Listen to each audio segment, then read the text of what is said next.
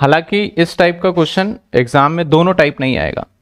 देखिए, ये वाला जो लाइन कहता है ना, कि ब्रांच अकाउंट तो ये तो सर हो गया डेटर सिस्टम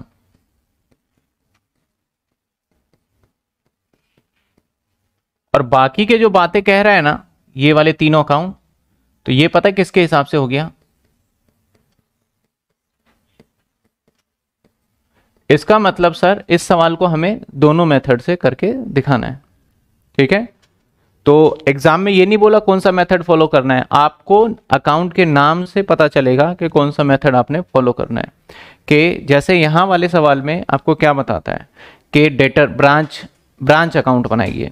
तो ब्रांच अकाउंट सिर्फ़ और सिर्फ़ बनता है किसमें? डेटर सिस्टम में।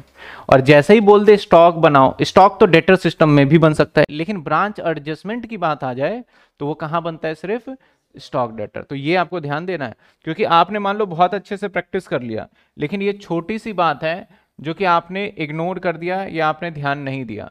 तो पता है क्या दिक्कत हो जाएगी आपको? आपका पूरा का पूरा सवाल क्या हो जाएगा? गलत हो जाएगा। एग्जामिनर ने क्या पता आपसे बोल दिया, ब्रांच अकाउंट बनाइए, ब्रांच स्टॉक अकाउंट बनाइए, बस छोड़ दिया। तो आप अगर उसे इस ब्रांच एडजस्टमेंट अपनी मर्ज़ी से बना के आ गए, उसमें तो गलत हो जाएगा, क्योंकि वो तो था ही नहीं हमारा ब्रांच डेटर सिस्टम का, स्टॉक डेटर का, ठीक है?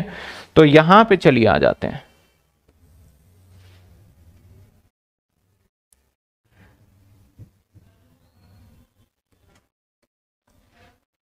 पहले कौन सा बना ले? बताइए, ब्रांच अकाउंट वाला ही बना ले। ठीक है?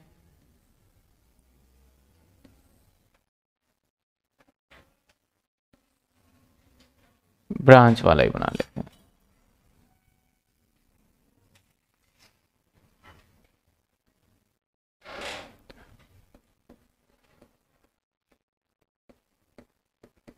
यानी ये है डेटर सिस्टम सिर्फ़ और सिर्फ़। चलिए। कहता है गुड्स इनवॉइस टू ब्रांच देखते हैं गुड्स रिसीव इसको भी देखेंगे। कैश एक्सपेंसेस को भी देखेंगे हम। क्या कहता है? ऊपर स्टार्टिंग में पढ़े। Following information figure related to daily branch of at और कॉस्ट प्लस हंड्रेड परसेंट कर रहा है। अब यहाँ पे हमारे पास परसेंटेज नहीं है। कॉस्ट प्लस हंड्रेड परसेंट का मतलब हो गया टू हंड्रेड परसेंट है ना? तो अब हमें लेट एक्स करके या कुछ दूसरा तरीका ढूंढना पड़ेगा। एक्चुअल एक्सपेंस ये है कैश एक्सपेंस ये है। सेल्स दे रखा है कैश रिसीव दे रखा है डिस्काउंट दे रखा है और दे रखा है goods return by branch to debtor एक इस बात पे भी फोकस होगा कि इसका मतलब क्या है। क्लोजिंग स्टॉक दे रखा है आपको डेटर का भी और स्टॉक का भी। तो सबसे पहले एक हमें डेटर अकाउंट बनाना पड़ेगा क्योंकि हमें ओपनिंग डेटर की ज़रूरत पड़ेगी। तो हम पहले फटाफट से यहाँ पे क्या लिख लेते हैं? टू ओपनिंग स्टॉक या बैलेंस ओपनिंग बैलेंस लिखते थे ना? ओपनिंग ठीक है? और यहाँ पे क्या लिख देते थे? बाय क्लोजिंग बैलेंस यही लिखते थे? ओपनिंग बैलेंस में क्या आ जाएगा हमारा? डेटर। और क्या आ जाएगा? स्टॉक, जो कि हमें सवाल में नहीं पता। क्लोजिंग में क्या आ जाएगा हमारे यहाँ? स्टॉक, जो कि सवाल में पता है। कितने का? तीस हज़ार। जो पता है, पहले हम उसको पुट कर लेते हैं। और क्या? डेटर। और डेटर कितने का है हमारा? बीस हज़ार। आइए चलिए यहाँ।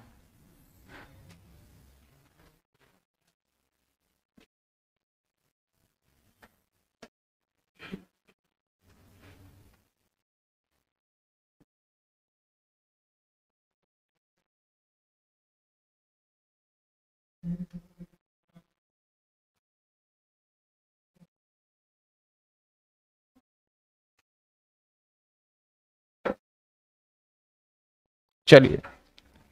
ये आ गया सर डेटर अकाउंट ये बना लिया डेटर अकाउंट सबसे पहले बाय बैलेंस सीडी गिवन है। और बाय बैलेंस सीडी कितने का था? बीस हज़ार का, यानी हमने कर लिया। अब गुड्स रिटर्न को बाद में देखेंगे। Discount allowed to branch debtor discount allowed किसको किया? डेटर को तो यहाँ आ जाएगा। है ना? डिस्काउंट कितने का है? पाँच हज़ार? इधर आ गया। इसके बाद है कैश रिसीव फ्रॉम डेटर यहाँ पे आ जाएगा कैश कितने का?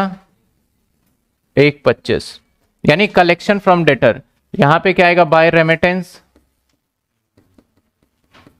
क्या क्या आता है? कैश सेल्स कैश सेल्स अगर देखा जाए तो क्या है हमारा? सेल्स एट इनवॉइस प्राइस अब देखिए ध्यान से। इसने कहा कैश रिसीव फ्रॉम डेटर ये है। और सेल्स एट इनवॉइस प्राइस ये है। तो सेल्स का मतलब तो सर दोनों ही होगा ना? कैश भी होगा क्रेडिट भी होगा। तो हमें इसमें से ढूंढ के निकालना है कि क्रेडिट सेल्स का हिस्सा कितना है। जो कि कहाँ से निकलेगा? डेटर से निकल सकता है हमारा, ठीक है? चलिए कलेक्शन फ्रॉम कैश सेल्स नहीं पता। कलेक्शन फ्रॉम डेटर तो पता है? कितने का दे रखा है कलेक्शन फ्रॉम डेटर यानी कैश रिसीव फ्रॉम डेटर एक पच्चीस, वो तो लिखेंगे ही। आ जाते हैं। Cash expense at branch actual expense at branch अब इसके अंदर कंफ्यूज किया हुआ है कि भैया कैश में इतना खर्चा हुआ और एक्चुअल में कितना खर्चा हुआ? 28 तो एक हज़ार रुपए यहाँ पे आउटस्टैंडिंग होगा। तो हम क्या करेंगे? टू एक्सपेंस कितने का? 27 और ऐड कर देंगे आउटस्टैंडिंग एक्सपेंस कितने का? एक हज़ार। दैट इज़ ट्वेंटी एट समझे बात? ये बात हो गए यहाँ चलिए, अब गुड्स इनवॉइस, यानी सर, हेड ऑफ़िस ने मुझे भेजा गुड्स। गुड सेंड किया। गुड सेंड कितने का किया, सर? एक लाख का। लेकिन ऐसा क्या हुआ? हमें एक दस मिल गया। तो यहाँ पे हो ऐसा सकता है। रीजन देखिएगा। मान लेते हैं कि ये 2020 है। ठीक है? और मान लीजिए ये 2021 है। इस डेट पे हमने सामान भेजा था, मान लेते हैं कि दो लाख रुपए का। लेकिन इस साल जो हमें रिसीव हुआ ना, वो हुआ ओनली 190 का। पहले ये समझ रहे हैं आप? दो लाख का भेजा था रिसीव कितना हुआ? 190 नाउ इस साल में भी गुड्स को भेजा गया कितने का सर मान लेते हैं एक लाख रुपए का। और अब जब हमने गुड्स रिसीव की बात किया तो गुड्स रिसीव जो मुझे दिखाई दे रहा है, वो एक लाख दस हज़ार दिखा रहा है। कैसे सर ये वाला तो गुड सेंट है। और जो दस हज़ार रुपए एक्स्ट्रा है ना, वो जो पुराना रुक गया था, समझ रहे हो? पुराने वाला जो रुक गया था हमारा, वही वाला गुड्स तो यहाँ पे आ गया होगा, समझो? नहीं समझ में आई बात आपको। पिछले साल हमारे पास सामान आया दो का, लेकिन हमने रिसीव कितना किया हमने? एक नब्बे। इसका मतलब सर दस हज़ार कहा है? रस्ते में ही है। अब अगला फाइनेंशियल ईयर आ गया। तो वो ऐसा ज़िंदगी भर तो रास्ते में नहीं रहेगा। अगले फाइनेंशियल ईयर में आए अगले फाइनेंशियल ईयर में आते ही क्या हुआ हमारा? उसने फिर एक लाख का सामान भेजा। लेकिन हमने क्या देखा भाई एक लाख का सामान वो भी आया, दस का और आ गया। तो दस का कौन से वाला आया होगा? पिछले साल का। और पिछले साल जब नहीं आया था तो इस वाले को दस हज़ार को हमने कहा दिखा दिया होगा? क्लोजिंग स्टॉक के अंदर। कि हमारा ये स्टॉक कहाँ पे है? गुड्स इन ट्रांजिट पिछले साल दिखा दिया हो गया। पिछले साल हमारा दस हज़ार रुपए गुड्स इन ट्रांजिट होगा। अब इस साल जब आएगा तो ये ओपनिंग स्टॉक नहीं बनेगा। समझो? इस साल आएगा तो क्या बनेगा? ओपनिंग तो ओपनिंग स्टॉक में कितना बनेगा हमारा? और गुड सेंट कितने का? दस। पहले ये बात फंडा क्लियर करो। देख लीजिए, समझ में आया या नहीं आया? इसका यही पॉइंट बन सकता है। इसमें सवाल में बोला नहीं है इसने। कुछ बच्चे बोल सकते हैं कि क्वेश्चन गलत है ये? तो ऐसा बस एक ही रीजन है कि आपको भेजा गया ज़्यादा कम और आपके पास ज़्यादा आ रहा है तो सर पिछली बार हमारा गुड्स इन ट्रांजिट रहा होगा, वो फिर से आ गया हमारे पास आके समझ में आई यहाँ तक? आगे बढ़े। तो ये वाले दोनों पॉइंट्स भी हमने क्लियर कर लिया कोई दिक्कत इसमें? Cash sent for expense cash sent उन्होंने एक्सपेंस कितने का किया था हमें? पच्चीस हज़ार रुपए। एक्चुअल एक्सपेंस कितने का हुआ? और cash expense at branch branch का 27 अभी इन तीनों पॉइंट को एक बार समराइज कर लेंगे हम, देख लेंगे। अब बात कर लेते हैं हम यहाँ से डेटर डेटर अकाउंट से क्या निकाल पाएँगे हम? सारी जानकारी तो गिवन था डेटर में। और एक और पॉइंट है यहाँ पे goods return by by branch direct to head office अब देखो।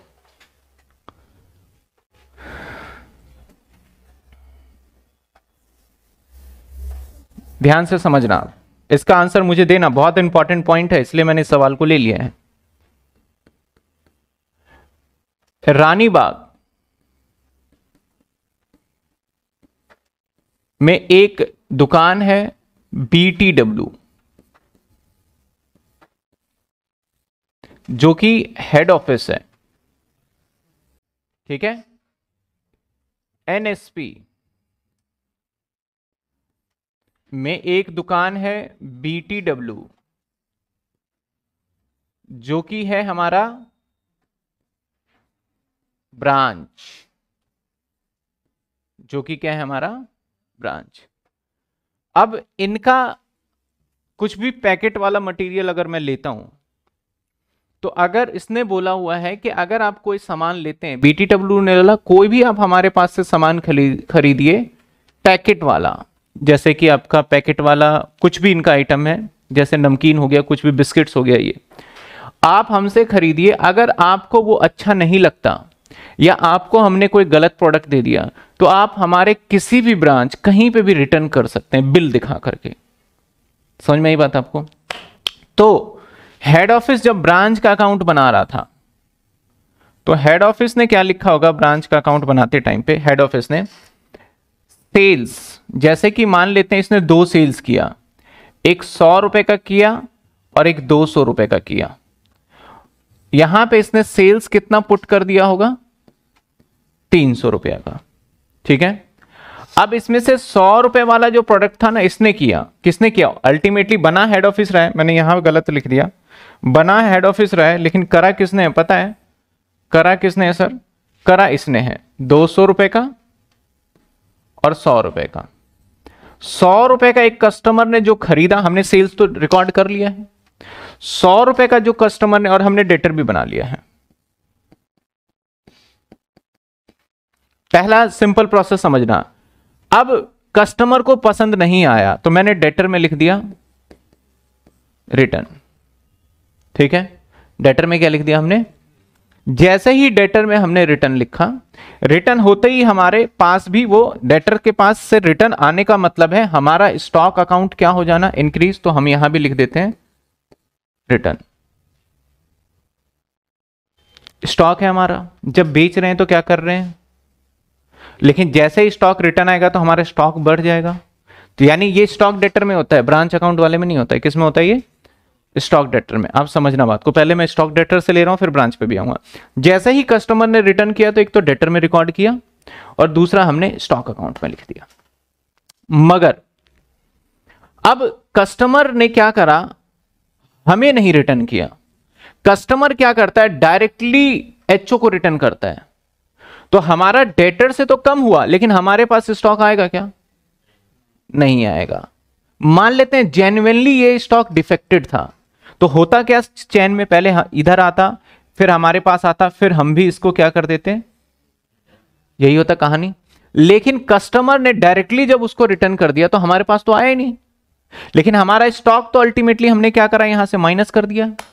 रिटर्न करा, डेटर रिटर्न हो गया। हमारे पास इधर भी नहीं आया और ना हमारे पास से गया। तो इसके दो ऑप्शन है। जब कोई कस्टमर डायरेक्टली रिटर्न करेगा, एक यहाँ भी रिकॉर्ड करोगे और एक यहाँ भी रिकॉर्ड करोगे। तभी पैरलर बन पाएगा। क्योंकि हमारे पास कोई भी डिफेक्टिव माल आएगा, सोचो, मैं बी टी डब्ल्यू हूँ, अगर मेरे पास कोई भी डिफेक्टेड माल आएगा, मैं ब्रांच हूँ तो आपने मुझे वापस किया, मैंने बोला डिफेक्टेड है हेड ऑफ़िस को भेजो। तो जैसे ही आपने मुझे दिया, मैंने अपना स्टॉक बढ़ाया। जैसे ही मैंने फिर हेड ऑफ़िस को भेजा, मेरा स्टॉक घट गया तो दोनों पैरलर हो गया। लेकिन अगर कस्टमर डायरेक्ट हेड ऑफ़िस को दे दे तो मेरे पास तो आए नहीं, और मेरे पास से गया भी नहीं। तो जब कभी भी डायरेक्टली कोई कस्टमर रिटर्न करता है तो इस एंट्री को या तो आप क्या करिए कैंसिल लिखिए ही मत। कब? जब customer direct return to H O या फिर आप इधर लिख रहे हैं अगर रिटर्न को तो इधर भी लिखिए और इधर भी लिखिए। पहले बात समझिए। समझ में आई बात आपको? यहाँ तक क्लियर है? अब आ जाते हैं ब्रांच अकाउंट बनाते हैं अगर। अगर हम ब्रांच अकाउंट बनाते हैं तो टू यहाँ पे स्टॉक आ जाता है और बाय स्टॉक आ जाता है। ठीक है? डेटर अकाउंट के अंदर हमने रिटर्न लिखा। डेटर अकाउंट में हमने रिटर्न लिखा। लेकिन जैसे ही कस्टमर रिटर्न करता है तो डेटर ब्रांच अकाउंट वाले में ब्रांच अकाउंट वाले में जब कभी कस्टमर रिटर्न करता है तो क्या मैं यहाँ पे दिखाता हूँ उसको? जवाब नहीं दिखाते। लेकिन अगर वो डायरेक्टली अब हम अगर वापस करते हैं एचओ को तो हम इधर दिखाते हैं? दिखाते हैं। तो अल्टीमेटली देखा जाए, जब डेटर ने हमें वापसी किया तो हम तो नहीं दिखाते यहाँ पे। लेकिन अगर डेटर हमारे बिहार पे डायरेक्टली रिटर्न किसको कर दे जाके? तो हम यहाँ पे दिखाएँगे फिर। तो हम क्या करेंगे? यहाँ पे दिखाएँगे। तो यहाँ पे सवाल में देखिए क्या कहता है। कहता है goods return by branch debtor directly to HO तो यहाँ पे भी आया और मैं इधर भी दिखाने वाला हूँ। रिटर्न और रिटर्न कितने का? बीस हज़ार। तो ये समझिए, ये रिटर्न यहाँ पे आ गया। हालाँकि इससे पहले किसी क्वेश्चन में रिटर्न यहाँ पे नहीं आया था। बताइए। समझ में आया? क्योंकि अल्टीमेटली ब्रांच से तो स्टॉक चला ही गया ना हमारा। हमने नहीं भेजा, हमारे बिहाफ पे किसने भेज दिया? तो बड़ी सिंपल सा कॉन्सेप्ट है। अगर कोई customer directly return head office को करता है तो return to branch to HO he as a treat किया जाएगा। क्योंकि मैंने जो कस्ट हेड ऑफ़िस को भेजना था, मेरे बिहाफ पे कौन भेज दे के आ गया? कस्टमर तो मेरा तो स्टॉक इधर से रिड्यूस ही हो गया ना। समझे बात यहाँ पे? कोई दिक्कत यहाँ पे? क्लियर तो ये था हमारा, एक तो ये पॉइंट हो गया, मैं एक बार दोबारा से इसको समराइज कर देता हूँ। चलिए, ये वाला पॉइंट डन ये पॉइंट भी done cash sent petty expense इसको इसको इसको एक साथ लेंगे। सेल्स हमारा कितने का? एक लाख। चालीस हज़ार। अब यहाँ से जो भी निकलेगा, वो क्या निकलेगा, सर? क्रेडिट सेल्स यहाँ से क्या निकलेगा? फटाफट से प्लस करिए, क्या आता है?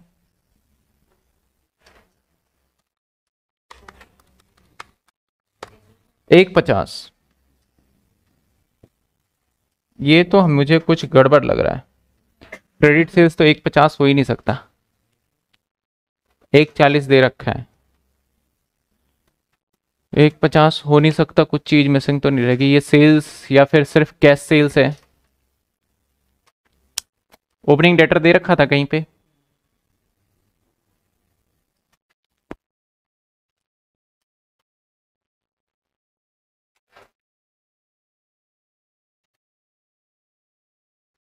ब्रांच स्टॉक अकाउंट भी बनाना पड़ेगा। इसमें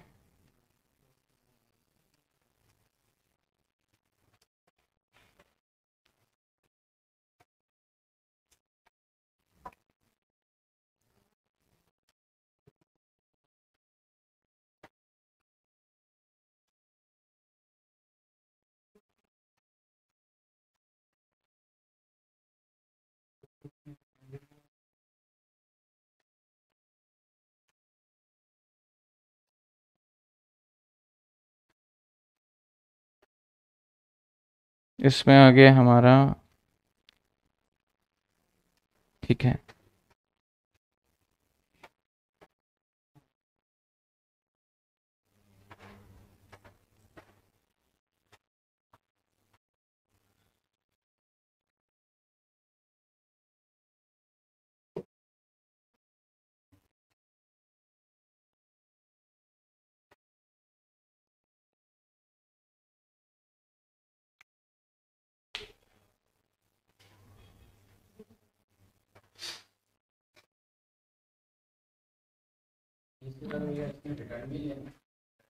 हाँ डेटर में रिटर्न तो रह गए, वो तो मैं लिख लूँगा। मुझे एक स्टॉक अकाउंट भी बनाना पड़ेगा यहाँ। चलिए, बना लेते हैं।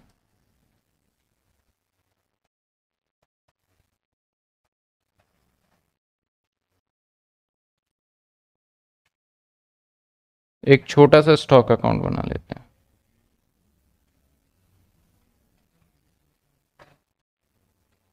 चलो।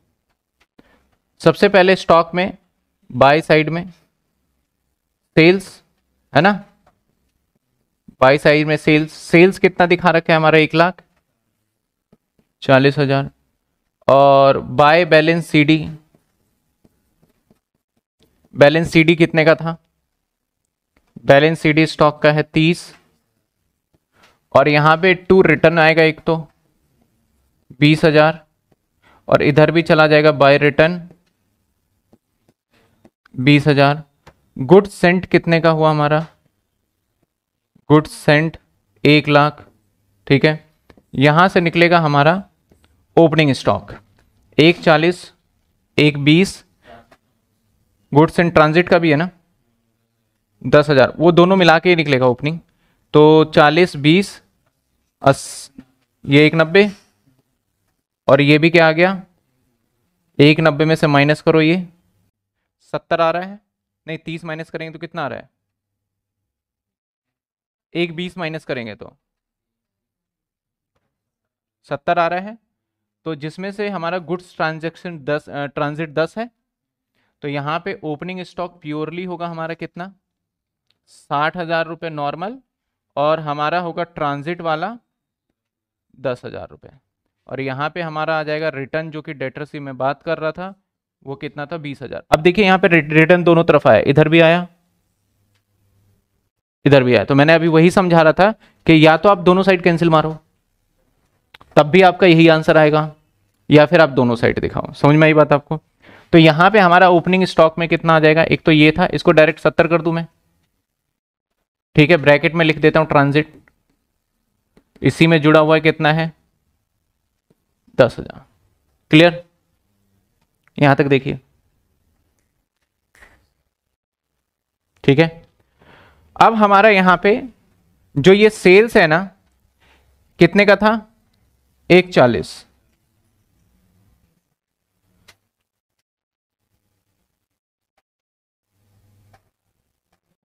ये कितना आ रहा है टोटल एक सत्तर। एक सत्तर। और इस सेल्स को हम मानते हैं, सर, ये क्रेडिट सेल्स है। क्रेडिट सेल्स कितने का है? एक चालीस। तो हमारे पे आएगा यहाँ पे ओपनिंग डेटर। मैं रीजन भी बताऊँगा अभी। कितने आएँगे? तीस हज़ार। ओपनिंग डेटर कितना आ गया हमारा? तीस हज़ार। ठीक है? अब सर यहाँ पे देखो, सेल्स दे रखा है invoice price cash receive from debtor दे रखा है। कैश सेल्स कहीं नहीं बोला तो हमारा ये एक मान के चलो सर, एक एजम्पन ही है। कि हमने इस सेल्स को सारा का सारा क्या मान लिया? क्रेडिट मान लिया ताकि हम ओपनिंग डेटर निकाल पाए। अगर क्रेडिट क्यों मानना पड़ा, आप समझो। अगर मान लो मैं समझता कि इधर से निकल रहा है क्रेडिट सेल्स अगर मैं ये मानूं कि इधर से निकलेगा क्रेडिट सेल्स तब तो यहाँ पे कितना निकल रहा है? अगर हम इसे मानते हैं टोटल सेल्स तो सर टोटल सेल्स एक चालीस और क्रेडिट सेल्स एक सत्तर निकल जाएगा, जो कि गलत हो गया हमारा। समझ रहे हो? तो इसलिए मैंने इसको क्या माना, सर? ये पूरा का पूरा क्या रहेगा हमारा? क्रेडिट सेल्स तो यहाँ पे कलेक्शन अब कैश सेल्स कितना होगा हमारा? अब कैश सेल्स में हमें निकालने के लिए क्या करना होगा? देखना होगा कितना पैसा हमने एचओ को भेजा है। कितना पैसा हमने एचओ को भेज दिया। क्या कहीं पे भी लिखा हुआ है कि कितना पैसा एचओ को भेजा है हमने? नहीं लिखा तो इट मींस हमारा कोई कैश सेल्स है ही नहीं, जो भी था हमारा यही था। पहले ये देख लीजिए। अगर यहाँ पे एक लाइन लिख देता कि एचओ को मैंने एक लाख पचास हज़ार भेज दिया तो एक पचास में से एक पच्चीस तो उसका है, और बाकी पच्चीस हज़ार किसका मान लेते हैं हम? कैश सेल्स का। समझ रहे हो बात को? पहले देखो यहाँ तक। देखिए, एक बार क्वेश्चन दोबारा पढ़ लीजिए, मैं दोबारा समझा दूँगा। क्वेश्चन हालाँकि देखने में बड़ा सिंपल सा है, लेकिन इसमें काफ़ी सारे पॉइंट्स को इन्होंने घुमा दिया है इधर उधर। स्टॉक रिज़र्व लोडिंग वगैरह तो निकाल लेंगे हम अभी।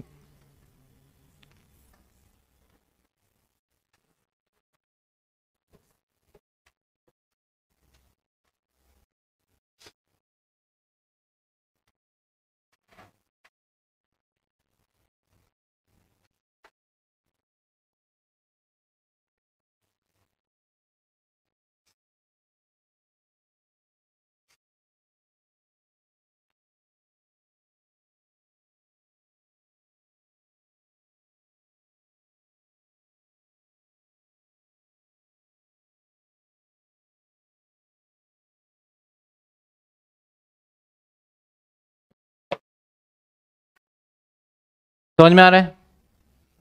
ठीक है? अब बात करते हैं हमारा रह गया क्या पॉइंट एक्सपेंस का। कहता है कैश कितना हमने दिया? कैश सेंट फॉर एक्सपेंस पच्चीस एक्चुअल कितना कर लिया हमने?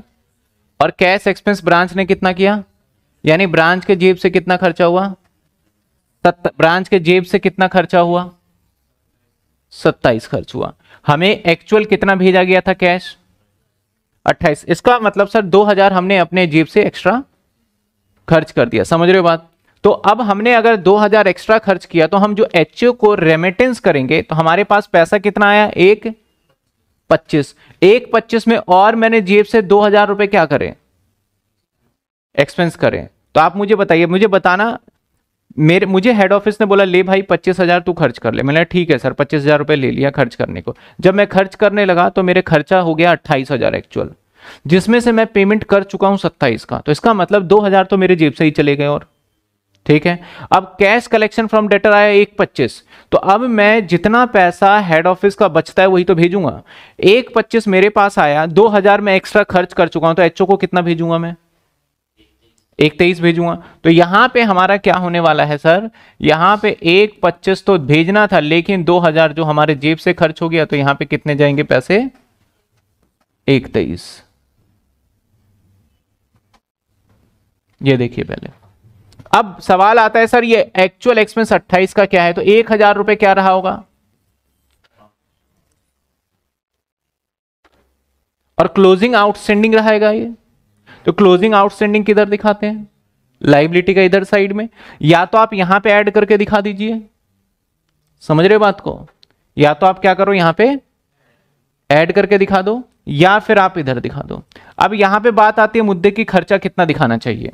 यहाँ पे खर्चा हमें क्या दिखाना चाहिए? अब ध्यान देना। हमारा यहाँ खर्चा, अगर मैं यहाँ सत्ताईस दिखा रहा हूँ और यहाँ एक पच्चीस दिखा रहा हूँ तो वो एडजस्ट हो गया। हमारे पास जो हेड ऑफ़िस पैसा देगा, वही खर्चा यहाँ दिखाऊँगा। हेड ऑफ़िस ने कितना दिया? एक, नहीं, सिर्फ़ पच्चीस। हेड ऑफ़िस ने कितना दिया? तो मैं ब्रांच एक्सपेंस में कितना दिखाऊँगा सिर्फ़? पच्चीस। क्योंकि जो एक्स्ट्रा के दो हज़ार लगे, वो तो मैंने यहीं कम करी दी उसके सेल्स में। अब बात रही आउटस्टैंडिंग की। तो आउटस्टैंडिंग के केस में हमारे पास दो ऑप्शन अवेलेबल है। या तो मैं आउटस्टैंडिंग इसी में एक हज़ार रुपए ऐड करके दिखा दूँ, नहीं तो हम यहाँ पे क्या दिखा दें? टू क्लोजिंग क्लोजिंग और ये आ गया हमारा एक्सपेंस का कितने रुपए? जैसे एसेट्स का क्लोजिंग निकालते थे, ऐसे किसका निकाल दिया हमने? लाइबिलिटी क्लियर अब हमें क्या करना है? बेसिक से चीज़ें हैं। लोडिंग निकालना है हर किसी का। लोडिंग के ऊपर भी कहता है हमारा कॉस्ट प्लस हंड्रेड परसेंट मतलब अब इसका एक, या तो कोई परसेंटेज बना लो आप, या तो लेट एक्स करके कर लो। यानी ये जो सामान होगा ना, ये सामान होगा हमारा 200 परसेंट के बराबर। कॉस्ट के ऊपर कितने परसेंट के बराबर होगा? जैसे आप देखो, समझो बात को।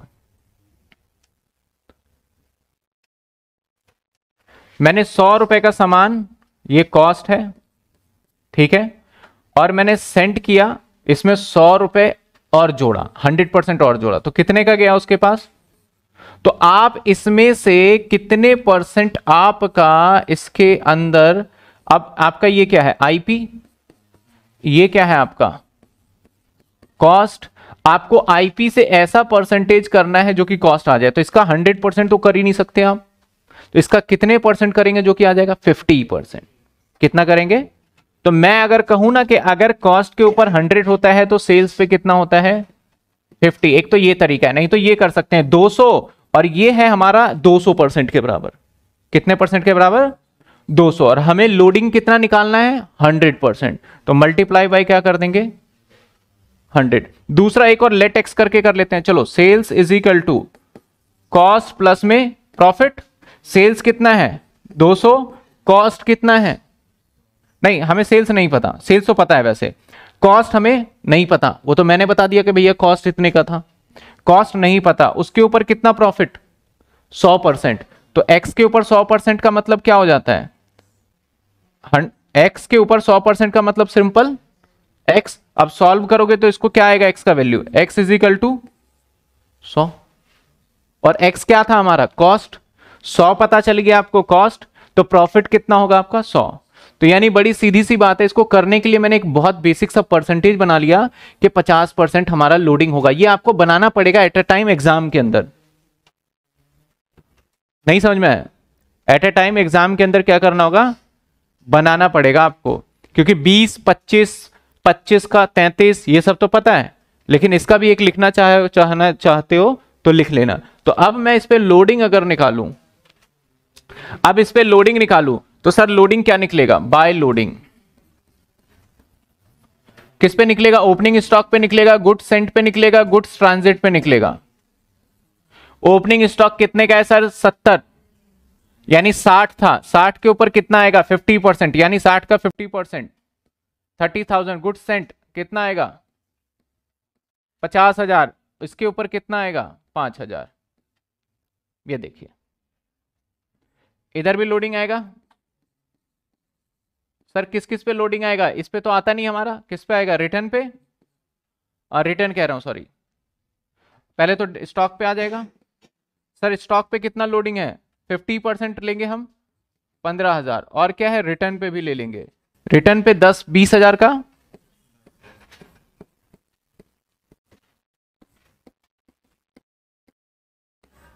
सत्तर और तीस।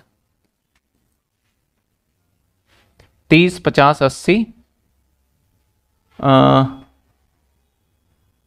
तीस, पचास, अस्सी और पाँच। ये देखिए पहले यहाँ तक।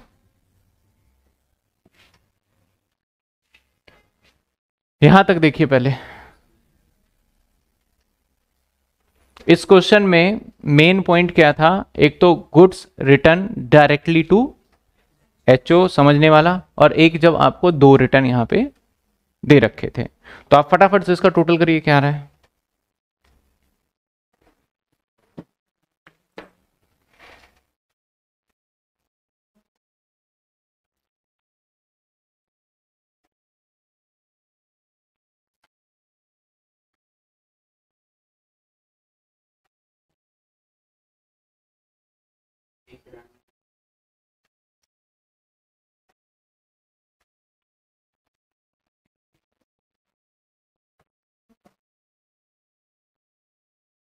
एक चीज़ एक पॉइंट और ध्यान रखना। चलो पहले इसका टोटल कर लेते हैं। एक तेईस, बीस हज़ार, पिचासी हज़ार, तीस हज़ार, बीस हज़ार। Two seventy eight two seventy eight बस एक चीज़ ध्यान रखना, ये ना रिटर्न वाले पे लोडिंग नहीं निकालना, क्योंकि ये डेटर ने किया है। बस ये दे थोड़ा सा ध्यान रखना इसमें। ये थोड़ा सा कन्फ्यूज़न था जो कि मैंने क्लियर कर दिया। माइनस करिए। एक लाख एक लाख और पच्चीस हज़ार, पंद्रह हज़ार, एक हज़ार।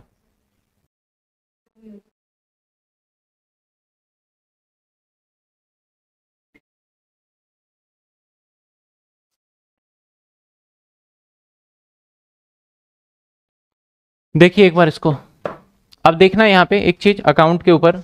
हमारा ब्रांच अकाउंट तो बन गया।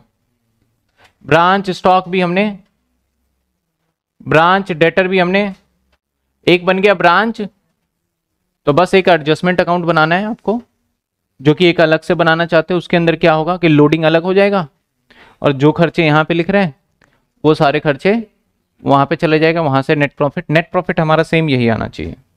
तो इस क्वेश्चन के अगर मैं मेन पॉइंट देखूँ तो एक तो गुड्स रिटर्न वाला आपको दोनों जगह आप देखो, यहाँ पे भी दिख गया, अगर ब्रांच अकाउंट बनाएँगे तो अगर कोई डेटर डायरेक्टली रिटर्न करता है एचओ को तो यहाँ तो आएगा आएगा, ये तो कंफर्म है। लेकिन अगर ब्रांच अकाउंट है तो इधर आ जाएगा। समझ रहे हो? और अगर स्टॉक अकाउंट है तो दोनों तरफ़ आएगा।